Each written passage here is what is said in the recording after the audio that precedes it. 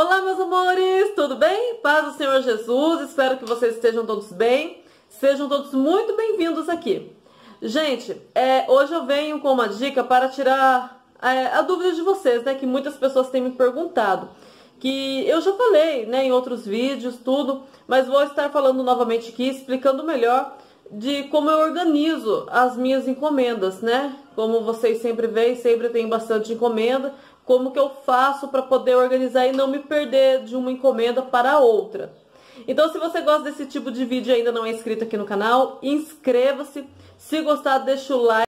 Bom, gente, e vamos ao vídeo. Ah, ative as notificações também para, sem, para que sempre o YouTube notifique vocês dos meus vídeos, tá bom, meus amores? Aqui tem dicas, vlog, passo a passo, enfim, tá bom? Se vocês escutarem muito barulho, gente, não reparem, feriadão hoje, né? Dia das crianças. Minha cunhada mora aqui duas casas ao lado e meus filhos estão lá com os primos dele na piscina. Então daqui eu consigo ouvir, né? Tem meus vizinhos, meus vizinhos ao lado também que vieram para cá essa semana, né? Então assim, tá a maior agitação aqui na rua. Mas eu creio que vocês devem estar me ouvindo muito bem, tá bom? Então vamos lá. Eu vou virar a câmera porque eu quero mostrar para vocês, tá? Então eu vou mostrar uma coisa lá na minha cozinha, que é bem legal. Foi até uma dica que eu peguei da minha amiga Jaqueline Larreia, em um vídeo dela. Eu vou procurar o vídeo, vou deixar para vocês aqui na descrição desse vídeo, é, onde ela também faz esse tipo de planejamento, só que ela coloca lá na, na parede dela, eu não lembro direito, mas eu vou deixar para vocês, porque essa ideia eu tive por causa dela. Pra quem não conhece, ela também foi a nossa amiga, nossa parceira aqui em hashtag Unidas no Crochê. vou deixar o link também das Unidas no Crochê aqui para vocês relembrarem e curtirem, tá bom? Então bora lá, sem demora! Bom, meus amores, a primeira dica é essa daqui, ó. Como eu disse pra vocês, eu vi a Jaque dando essa dica e eu achei super legal, super nota 10. E pra mim foi muito útil. Por quê? Aqui, gente, ó, eu organizei aqui tudo o que eu tenho para poder fazer, ó, ó, tá vendo? Tudo que eu preciso fazer até o final do ano, certo? Aí marquei aqui quais são as peças, aqui eu fui marcando a quantidade de peças separadas, vamos supor, você tem um jogo de três peças, aqui eu marquei três peças, ok? Lá em cima. Aí vim marcando aqui o total completo das peças, e enfim. Aí aqui eu já marquei a, aqui é a rotina diária, ok? Então eu marquei aqui o horário de levantar, marquei 6 horas levantar, né? Isso no domingo. Aí 10 horas tem o ensaio da orquestra, né? Meio-dia terminar o almoço, porque eu marquei que 9 horas eu tenho que iniciar o almoço. É isso, gente? Deixa eu ver. 6 horas levantar, cuidar da casa e adiantar o almoço até as 9. Isso. 10 horas ensaio da orquestra, meio-dia terminar o almoço, às 14 horas crochê. Aí 16 horas já começava a se arrumar para ir pro culto e assim por diante. Aí na segunda-feira veio a mesma rotina, às 6, às 9 a tarefa com os meus filhos, que eu marquei todos os dias. Crochê, fui marcando o horário aqui, ó, da 1 e meia em diante. Enfim, aqui eu fui marcando todos os horários. Por enquanto tem funcionado, que de vez em quando eu mudo a rotina, viu gente? Esse aqui é um novo calendário que eu tentei fazer, né, uma nova rotina para eu ver se eu consigo me adaptar, porque como as crianças estão em casa agora, né, já faz meses, é, não dá mais para seguir a mesma rotina e as encomendas aumentaram, então isso daqui também está me facilitando muito. Aqui eu já marquei o calendário dos dias, né? Domingo, segunda, terça, então tem todos os dias aqui do mês de setembro, aqui do mês de outubro, certo? Aí conforme eu for fazendo, o que eu tenho que fazer por dia. Por exemplo, comecei aqui, né, em setembro, aqui, ó, eu tinha que fazer aqui nove flores. Então eu faço isso, que eu vou produzir por dia, eu marco aqui no dia. Então eu achei bem interessante essa dica, achei bem legal, para mim tem funcionado.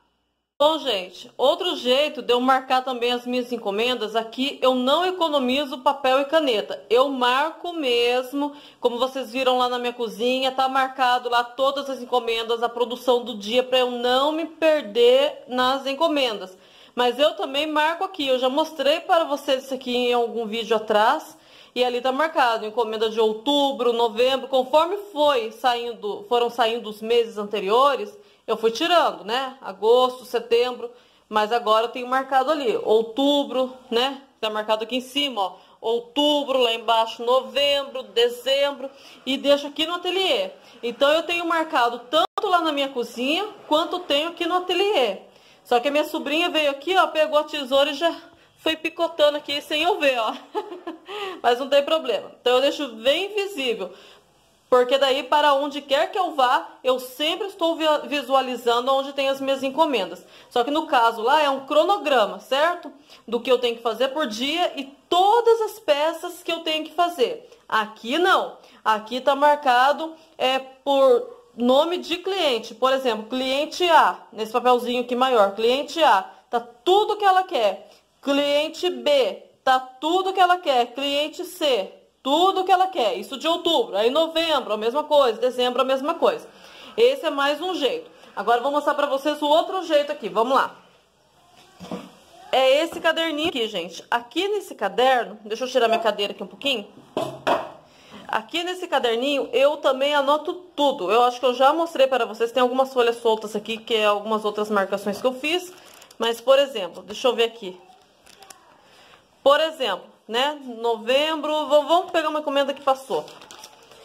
Aqui é o orçamento, por exemplo, pedidos para setembro. Então aqui, ó, eu venho marcando a mesma coisa que eu marquei ali. Lembra que eu falei para vocês que ali eu marco cliente A do mês de outubro. Cliente A eu marco tudo ali, né? O nome dela e o que ela quer. Aqui eu já venho marcando a cliente A, coloco o nome dela e aqui eu especifico a peça dela.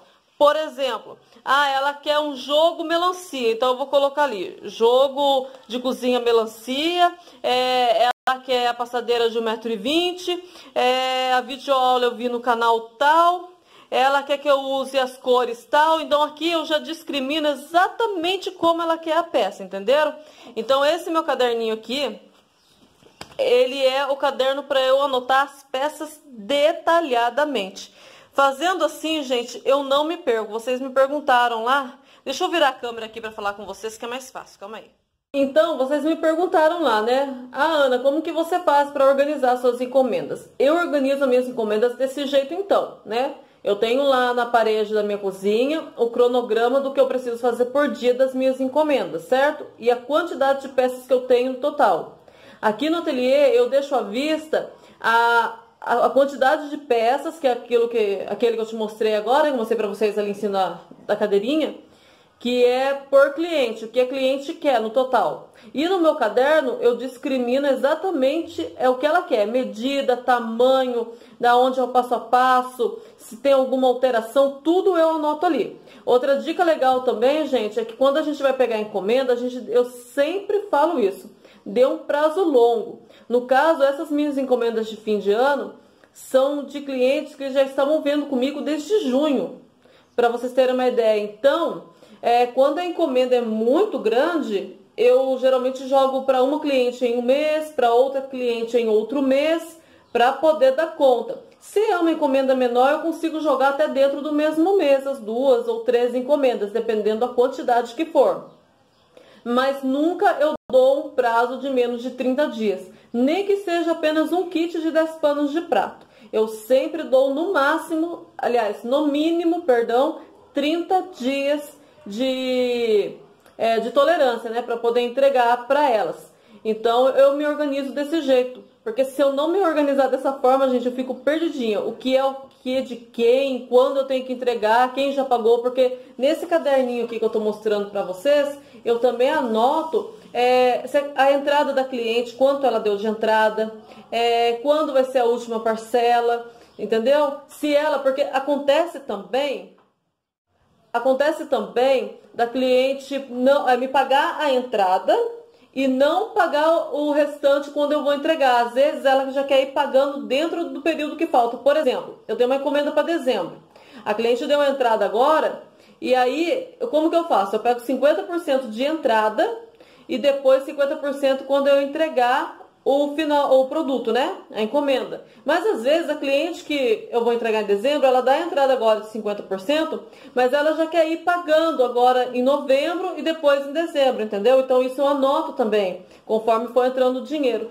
Tudo o que diz respeito à encomenda da minha cliente, tudo é anotado. Por mais simples, por mais ah, mas isso é bobo de anotar. Não é, gente. Qualquer coisa eu anoto. E as conversas no WhatsApp também eu não apago, gente. Eu só apago a, a minha conversa com a cliente do WhatsApp quando eu entrego a encomenda dela, quando a encomenda dela já chegou nas mãos dela.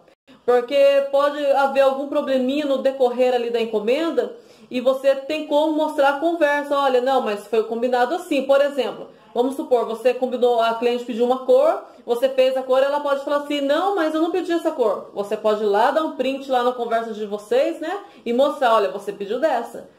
Certo? Ou às vezes até mesmo se for um erro da, da, da sua parte, um erro da minha parte, né? Às vezes eu posso me enganar, a gente erra também. Então você tem como ali comprovar através do print, através das conversas que você tem no celular com o seu cliente. Então essa é uma outra dica bem legal. Não apagar as conversas enquanto você não finalizar essa venda. Bom, gente, no básico é isso, né? É assim que eu organizo as minhas encomendas. Pode parecer muita coisa, mas para mim Gente, desculpa ficar pausando o celular dando esses cortes, porque na verdade meu celular é esse aqui, ó. Mas só que o meu celular, ó, tá tudo detonado aqui na frente, ó. Meu filho derrubou, não sei se vocês conseguem ver. E aí eu não consigo usar a câmera frontal do meu celular, eu uso do meu marido. Só que como eu vou enviar do WhatsApp dele, aliás, como eu vou enviar do celular dele para o meu WhatsApp, só tolera até dois minutos de vídeo. Então eu tenho que, quando eu vou gravar de frente, eu tenho que gravar no máximo dois minutos para conseguir enviar para o meu celular. Agora quando é pra é, filmar normal, né, assim, a parte... Como eu estava mostrando agora, né, que eu não uso a câmera frontal, é só a traseira, aí eu uso meu celular. Então, assim, desculpa, tá, gente, é ter que pausar o vídeo, assim, toda hora dar esses cortes, mas é até Deus preparar um celular novo pra mim, que eu creio em nome de Jesus, que logo vem minha bênção em nome de Jesus. Mas é isso, meus amores, é... Fugiu o que eu tava falando pra vocês, calma aí, deixa eu lembrar. Me lembrei, pessoal. Então, gente, pode parecer muita coisa, né? Muita anotação. Mas eu prefiro anotar assim para não me perder. Até porque lá no WhatsApp, quando a gente acerta com as clientes, porque no meu caso eu só fecho as minhas encomendas pelo WhatsApp. É, se eu não anoto, eu posso esquecer a cor, né? Ainda mais é, como acontece da cliente às vezes pedir várias coisas, eu posso esquecer alguma coisa que ela pediu. Aí eu tenho que ficar lá rolando, né? Pra cá, conversa, pra procurar. Às vezes, nossa, demora, porque eu converso bastante com as minhas clientes no decorrer de uma encomenda a outra. Por quê? Porque ela, às vezes a cliente também fica ansiosa, ela pergunta: "E aí, Ana, como é que está sendo a encomenda?" Então, às vezes numa conversa e outra, vai acumulando muito assunto e daí para eu ficar rolando lá para poder achar o que nós havíamos acertado, eu acho muito mais fácil pegar e anotar no caderninho. é muito mais fácil, gente. Então, espero que com esse vídeo eu tenha conseguido dar, é, conseguido orientar vocês, né, de como organizar a encomenda. Eu organizo dessa forma, como eu disse, parece muita coisa, parece complicado, mas eu não me perco. Para mim é uma forma muito fácil. Desde sempre eu faço assim e sempre funciona muito bem. Espero ter conseguido ajudar vocês, que Deus abençoe. Qualquer dúvida, pode deixar nos comentários aí que eu faço um vídeo explicando para vocês sem problema algum, tá bom? Que Deus abençoe vocês. Beijos e até o próximo vídeo.